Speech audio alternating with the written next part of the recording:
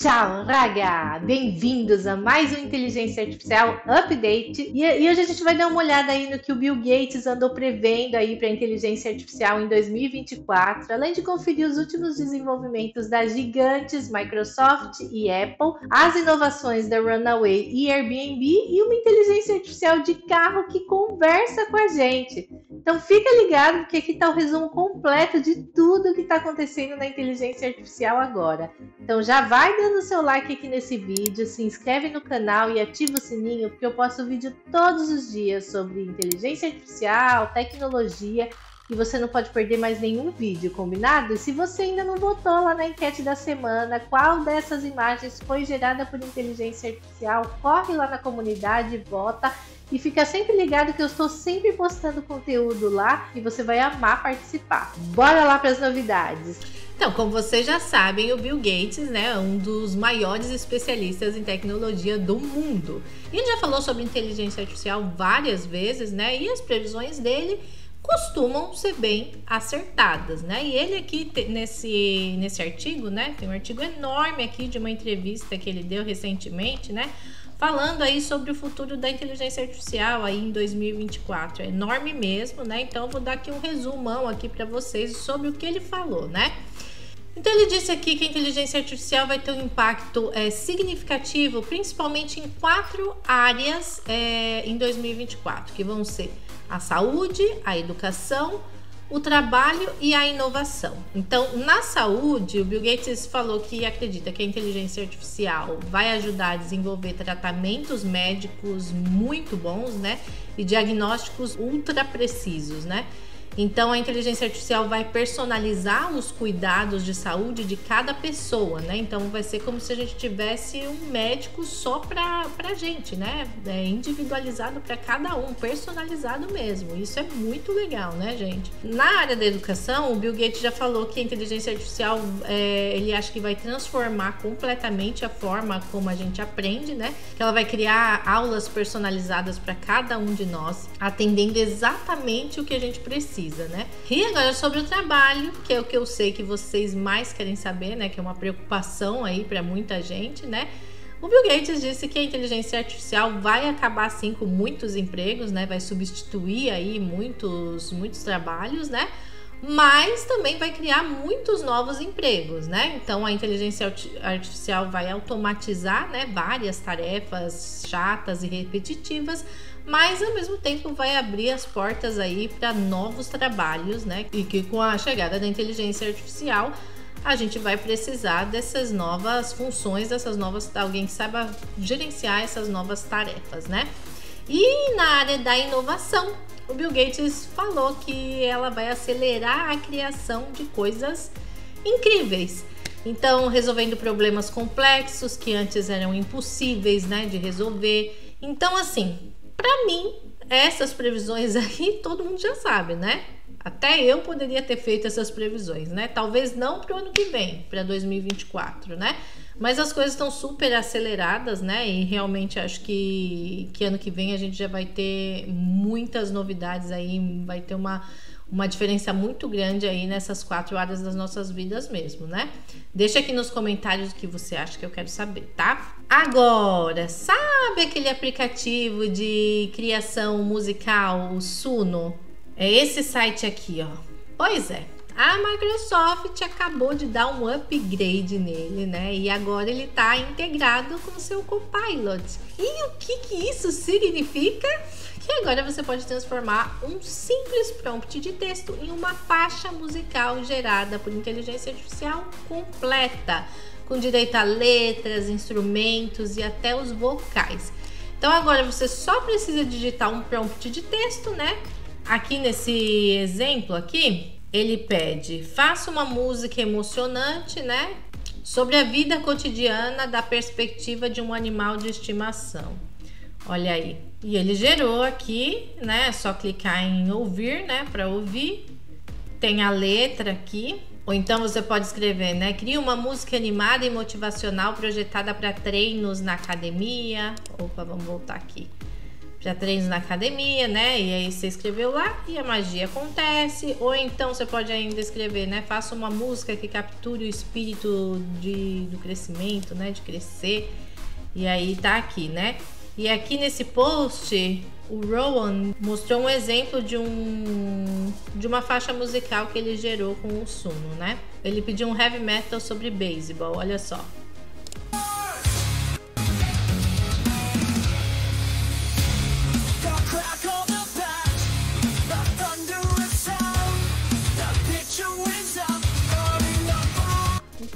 Possibilidades são assim infinitas e a imaginação é o limite, né? E a equipe de pesquisa da Apple acabou de revelar uma coisa chamada HUGS, né? Human Gaussian Splats. E basicamente isso é uma técnica que permite a inteligência artificial de capturar pequenos videoclipes de 2D, né? E transformar eles em avatares 3D. Então agora, quando você gravar um vídeo, você vai poder dar um toque pessoal nele, né? E colocar seu avatar 3D em qualquer lugar. Olha só aqui os vídeos, né, de demonstração. Aqui fala que o vídeo 1 mostra o vídeo de treinamento, né? Aqui esse primeiro vídeo aqui é o de treinamento, né? O avatar humano canônico reconstruído. É esse aqui, esse segundo vídeo aqui. O modelo de cena reconstruído seria essa parte aqui, que é a cena, né, reconstruída, e o humano já animado junto com a cena, né? E aqui junto, então, nessa última parte, o humano e a cena. Olha lá. Todos os modelos são treinados com o método proposto usando o conjunto de dados Newman. Aqui, o segundo vídeo de demonstração, né? Fala: nosso método permite a composição de múltiplos avatares humanos dentro de uma cena nova. Requer apenas um único vídeo do humano e da cena. A renderização acontece em tempo real. Então, aqui tem a demonstração de vários humanos, né? Em uma cena só. Então, agora Pensa comigo, gente. Imagina o que isso significa para o futuro dos vídeos nossos, né, pessoais.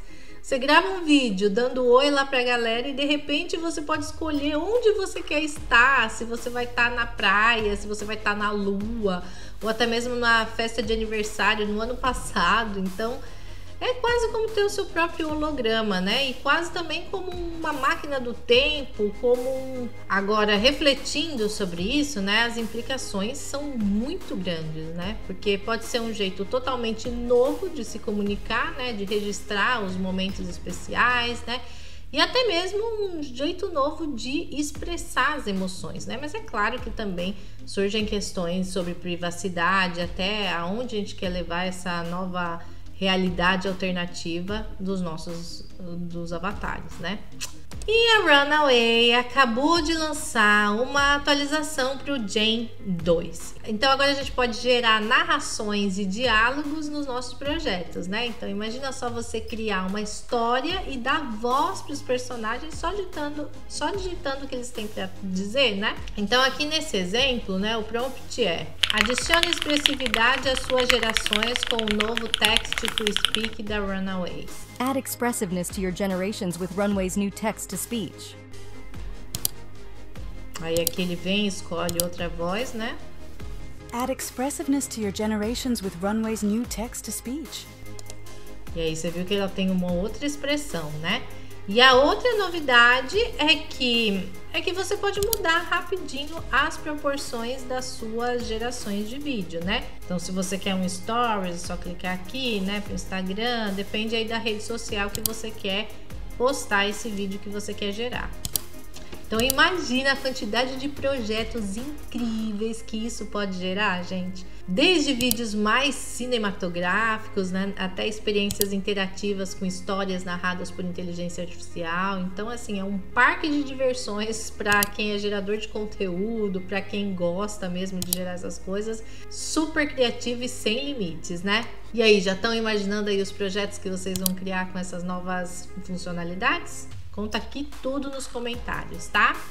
E o Airbnb está lançando uma nova tecnologia para evitar festas não autorizadas nos alojamentos. Então, essa novidade veio depois do sucesso do projeto piloto global que já reduziu as denúncias de festas, né? E desde a implementação dessa tecnologia, teve uma queda global de 55% nas denúncias de festas na plataforma, né? Isso em apenas dois anos, tá? É bastante coisa, tá? Agora, o que, que essa tecnologia faz, né? O objetivo é evitar essas festas aí indesejadas e comportamentos problemáticos, né?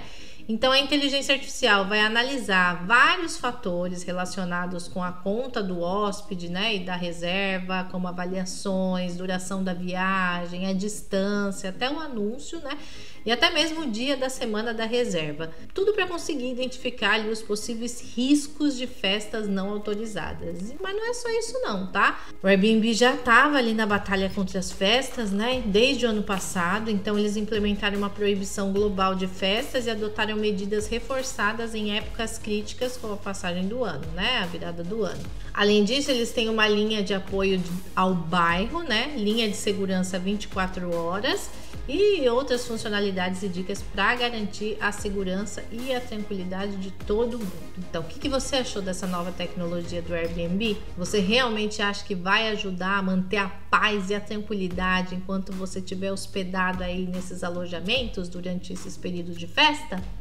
Conta aqui para mim nos comentários, tá? E agora vem uma super novidade, né? Que a TomTom, que é conhecida pelo serviço de mapas digitais, está se unindo à Microsoft para lançar um assistente de voz alimentado por inteligência artificial para veículos. Então imagina só, você está lá dirigindo seu carro, tendo uma conversa natural e normal com o assistente de voz, como o Chat GPT.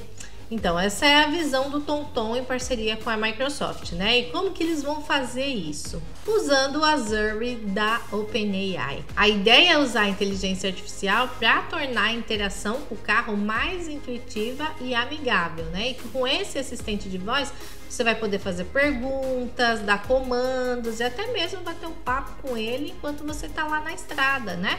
E olha que interessante, eles estão usando o Azure da OpenAI, que é a tecnologia de inteligência artificial da Microsoft, para criar essa experiência de diálogo natural, né? Então, o assistente de voz vai entender você de uma maneira mais humana, né? Melhorando a comunicação entre você e o veículo, né? E essa parceria entre a TomTom e a Microsoft está apontando para o futuro das experiências aí dentro do carro com a inteligência artificial, né? Porque ela vai além de só dar direções no mapa, né? Agora ela vai ser sua companhia mesmo, né? Durante a viagem e vai te ajudar com informações, entretenimento, né? E muito mais. Você consegue se imaginar aí conversando com o seu carro? Conta aqui para mim nos comentários. E se você gostou do Inteligência Artificial Update de hoje, compartilhe o vídeo, dá o seu like e fica ligado que amanhã tem mais. Eu sou a Paula Bernardes e até o próximo vídeo.